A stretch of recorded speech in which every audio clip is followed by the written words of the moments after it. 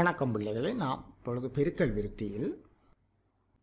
பெருக்கல் விருத்தியின் முதல் எண் உறுப்புகளின் கூட்டுத்தொகைக்கான சூத்திரத்தை எவ்வாறு பெறுவது என்பதையும் அந்த சூத்திரத்தை பயன்படுத்தி பிரசனங்களை தீர்த்தலையும் இப்பொழுது பார்ப்போம்.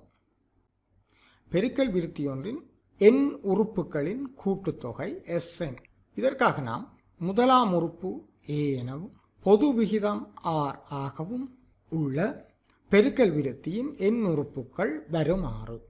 முதலாம் உறுப்பு ஏ. பொது விகிதம் ஆறாக உள்ள பெருக்கல் விருத்தியை நாம் எழுதலாம்.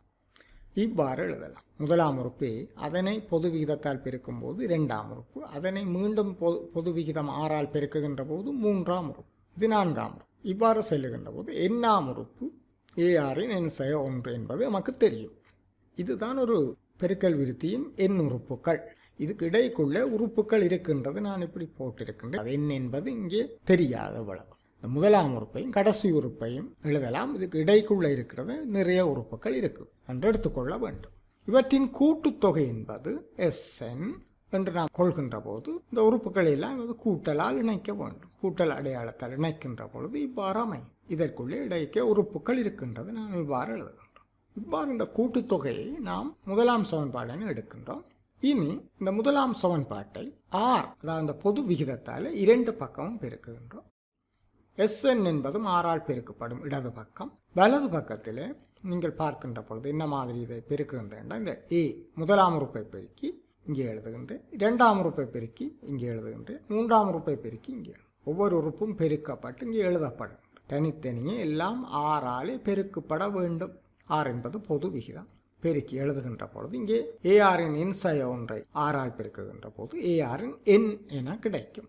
இந்த தொடர்பை நாம் இரண்டாம் சமன்பாடு எடுக்கின்றோம். இனி முதலாம் சமன்பாட்டிலிருந்து இரண்டாம் சமன்பாட்டை கழிக்கின்றேன். கழிக்கின்ற போது எஸ்என்னிலிருந்து கழிக்க வேண்டும். ஆர் எஸ்என் இதை கழிக்கின்ற பொழுது இங்கே ஏ இருக்கின்றது.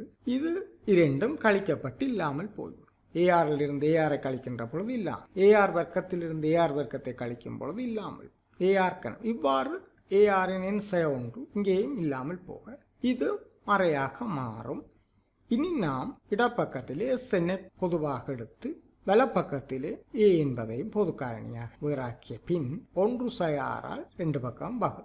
வகுக்கின்ற பொழுது எங்களுக்கு இந்த சூத்திரம் கிடைக்கும். எஸ்என் சமன் ஏ அடைப்புக்குறி ஒன்று சய ஆறின் எண்ணாம் அடுக்கு முழுவதின் கீழ் ஒன்று சய ஆறு இந்த சூத்திரம் எப்பொழுது பயன்படுத்தப்படும் என்று சொன்னால் பொது விகிதம் ஒன்றை விட சிறிதாக இருக்கும் பொழுது இந்த சூத்திரத்தை நாம் பயன்படுத்த வேண்டும். ஆகவே பொது விகிதம் ஒன்றை விட பெரிதாக இருக்கும் போது நாம் இந்த சூத்திரத்தை பயன்படுத்த வேண்டும்.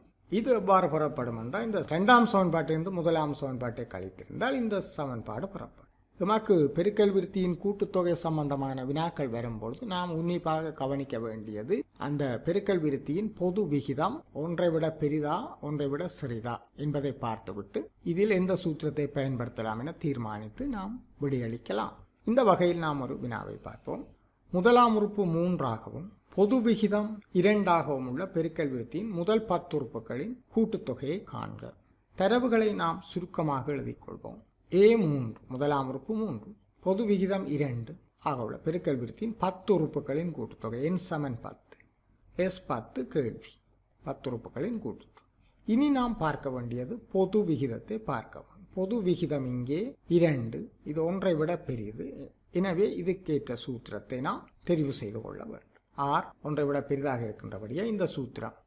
அந்த சூத்திரத்தில் இங்கே தரவுகளை நாம் குறித்து கொள்வோம் எண்ணுக்கு பதிலாக பத்தை இடும்போது பத்து உறுப்புகளின் கூட்டுத்தொகை சமன். ஏ மூன்று என் இரண்டு ஏ மூன்று ஆர் இரண்டு என் பத்து.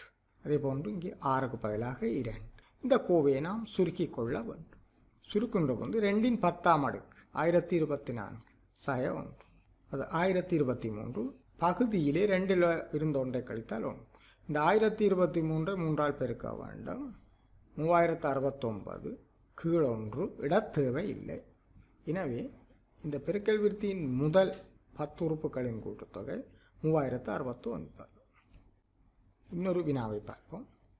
முதலாம் உறுப்பு ஐந்து ஆகவும் பொது விகிதம் மறைரெண்டு ஆகவும் உள்ள பெருக்கல் விருத்தியின் எத்தனை உறுப்புகளின் கூட்டுத்தொகை இருநூற்று பதினைந்து ஆகும்.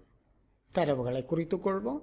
ஏ ஐந்து ஆர் பொது விகிதம் மறை இரண்டு எஸ்என் இந்நுறுப்புகளின் கூட்டுத்தொகை இருநூற்றி பதினைந்து என தரப்பட்டுள்ளது.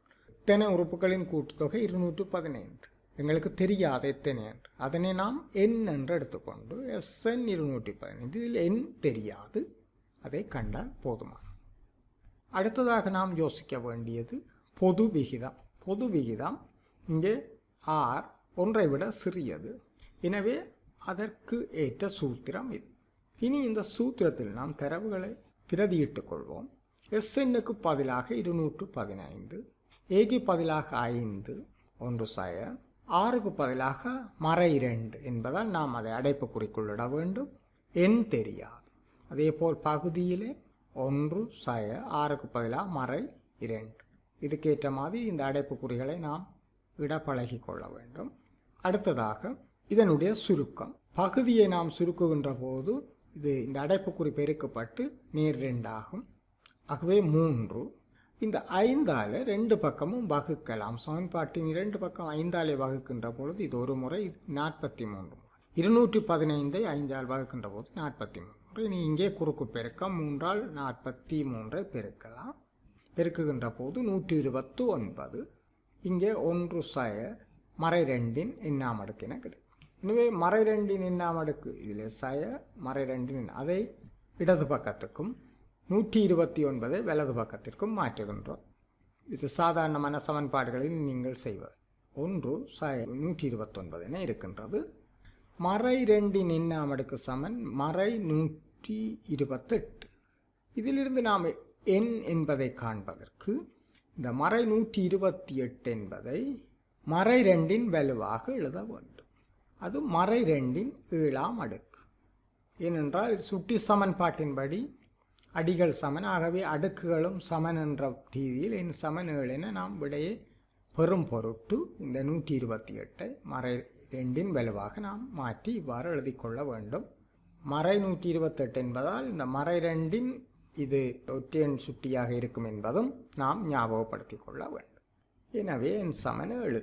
இதிலிருந்து முதலாம் உறுப்பு ஐந்தாகவும் பொது விகிதம் மறை ரெண்டாகவும் உள்ள பெருக்கல் விருத்தியின் முதல் ஏழு உறுப்புகளின் கூட்டுத்தொகை இருநூற்றி பதினைந்து என்பதை நாம் இப்பொழுது பெற்றிருக்கின்றோம். சாராம்சம். ஒரு பெருக்கல் விருத்தியின் முதலாம் உறுப்பு ஏயாகவும் பொது விகிதம் ஆறு ஆகவும் இருப்பின் அவ்விருத்தியின் எண் கூட்டுத்தொகைக்கு இங்கே இரண்டு சூத்திரங்களை நாம் கற்றிருக்கிறோம்